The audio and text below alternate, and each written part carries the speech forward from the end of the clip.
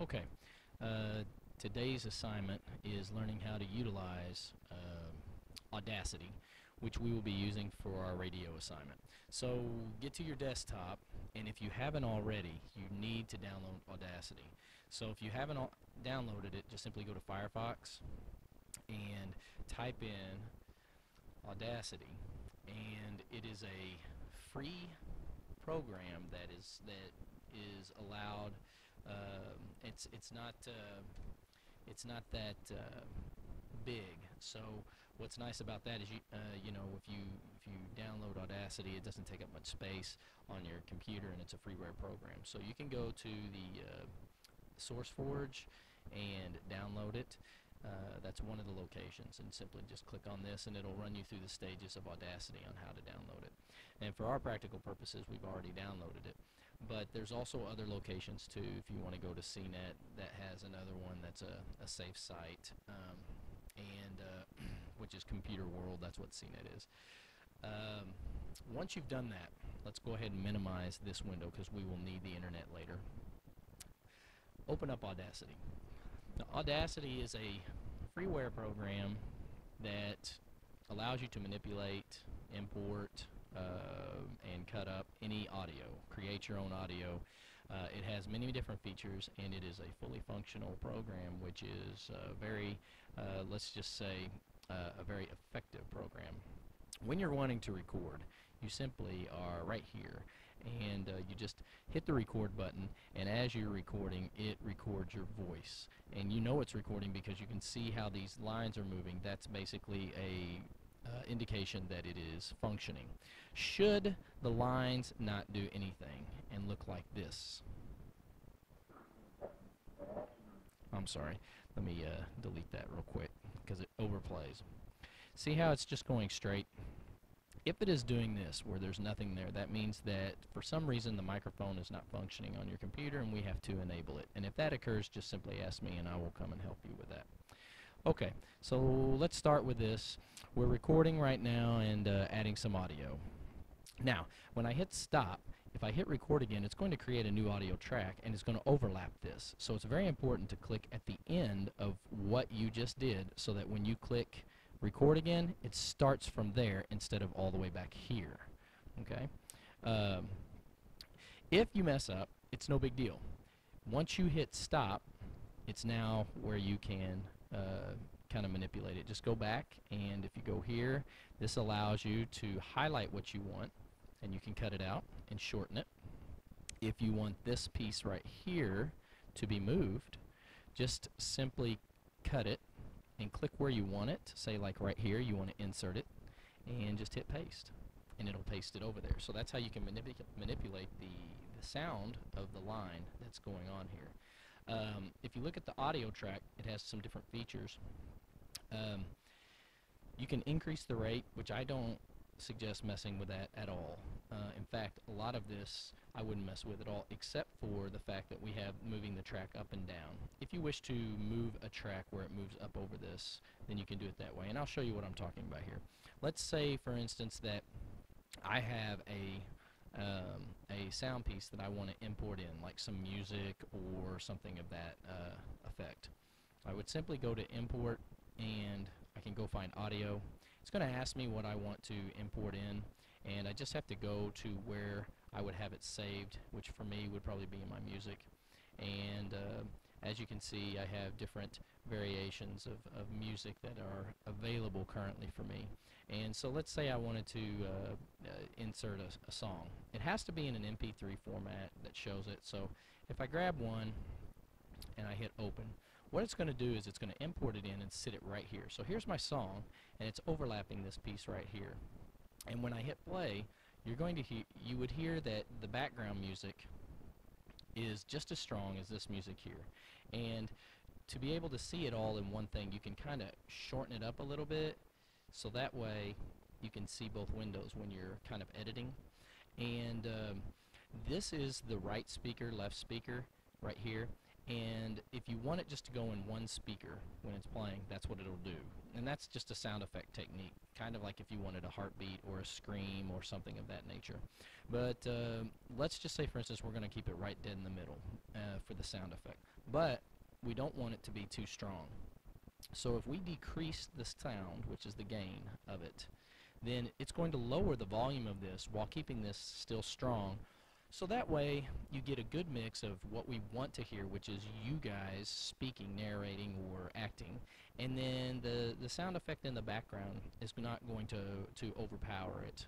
Uh, so that way we're still focused on this, but we still hear whatever eerie music or action music or whatever thing you have set in here. It's the same concept too if you are going to import a special effect.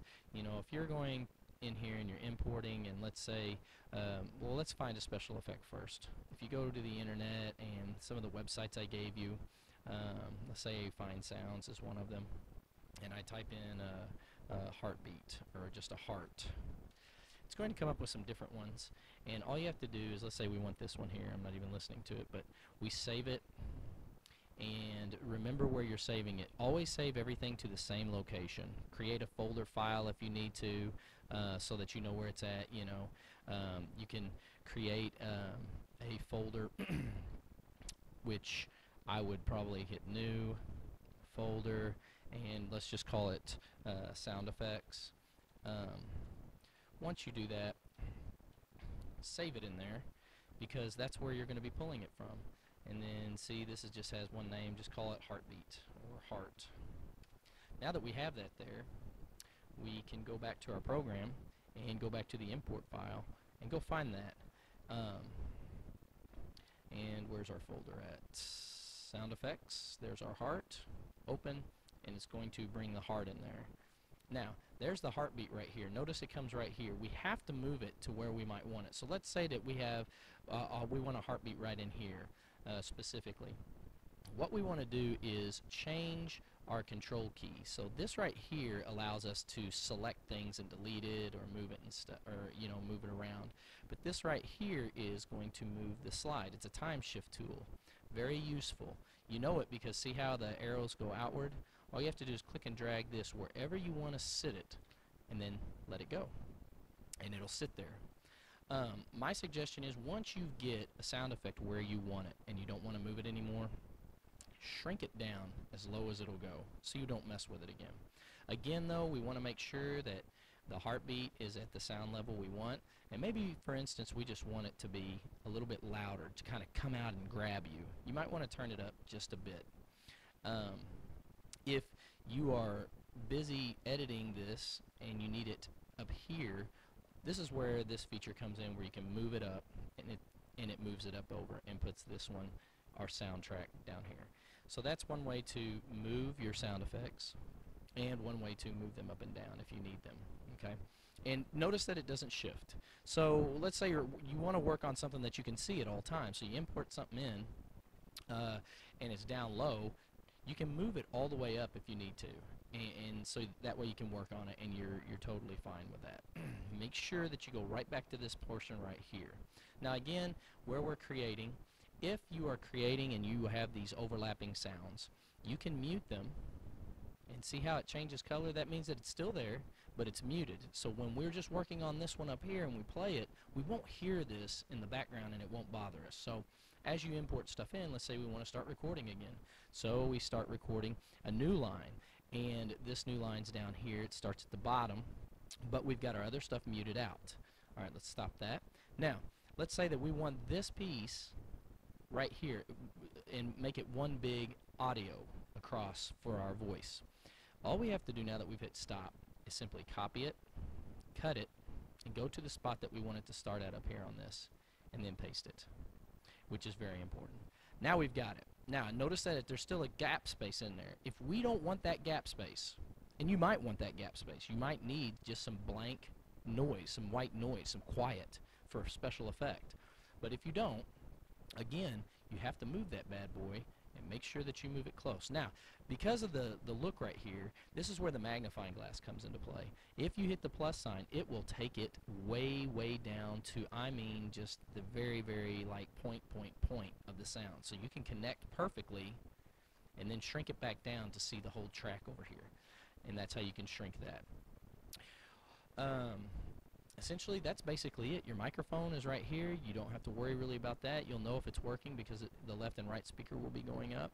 Notice that we have our microphone turned all the way up. We could turn it down just a little bit so it's not too loud and the speakers as well, um, just for our own personal, uh, you know, health. Special effects that come from this, if you go to the effect bar, these are special effects. So let's say, for instance, I wanted to have an echo of the heartbeat. Okay, I would highlight the heartbeat only, go up to the special effect, and click out echo.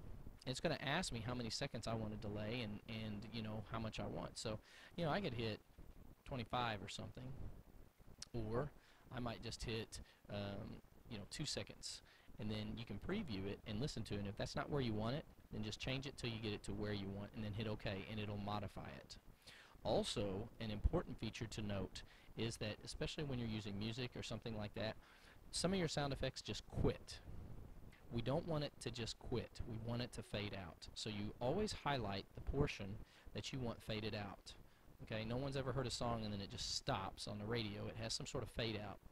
So we highlight the spot that we want to fade out and simply go to effect and click fade out and notice how it fades it out gradually. So it doesn't delete the sound but it slowly diminishes it. And you can do the same thing for a fade in. So the music just doesn't start it fades in equally okay? Again there's so many different special effects I can't even begin to go. If you change the speed it makes them talk faster or slower which obviously changes your pitch and your bass boost. So that means, ladies, if, if you're just a group of girls and you're doing a recording, you can actually sound like a guy by using these different things because it will make your voice deeper or darker. Guys, it can really make yours darker, or it could make it lighter and make you sound like a small child. You know, it's really up to you on how you want to edit it. But this is something that's very important because we're using a lot of sound and things of that nature. It is, uh, the program will freeze up. So it's very important to first, once you start this, you open this up, you want to save the project immediately. And when you click Save for Project, it's saying you are saving the file as an AUP. Okay, that's the Audacity symbol, which is fine. We don't have to see that again. But it says to save an audio file for other programs you would have to export it, but we're not doing that at the moment. So we're just hitting save, and notice how it's the AUP, give it a name, and make sure that it goes to the folder that you want, and, and we can keep it in sound effects if we want. Um, now, once this is done, you can always go back after you do different things and just hit save project, and it'll just keep saving it. I suggest that you do this consistently. Every time you're making moves or anything like that, save it, because if it freezes, you lose everything, and nothing is more frustrating than that. Once we are done with this program, we're ready to make it an actual audio file. And once you are done with the actual audio file, you can look down and see what you got going here. It'll tell you how long this thing is, okay? And it is right now, you know, it shows the audio position. If I click here, it'll tell how much time is selected. Um, as you hit play, um, it will run through the seconds and stuff, and, and it'll kind of give you an idea of what you got rolling um, with all that kind of stuff. But what is really important is let's say that you want to now make this an audio file. With that, then we have to, we don't hit save, we're not saving the project, but we're going to export the project. We're going to create it. So once you export the project, it's going to ask you, do you want it as a wave?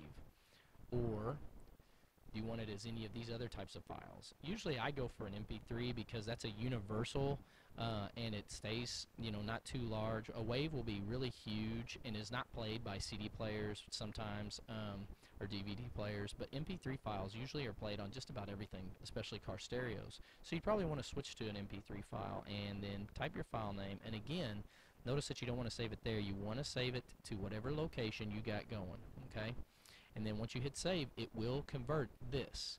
Now this will stay the same because you have this program saved. So if you ever want to go back and manipulate it or change it or let's say you listen to the final product after you've exported it and it doesn't work the way you want it to you just go right back into this program change what you need to do and just export it again as many times as needed.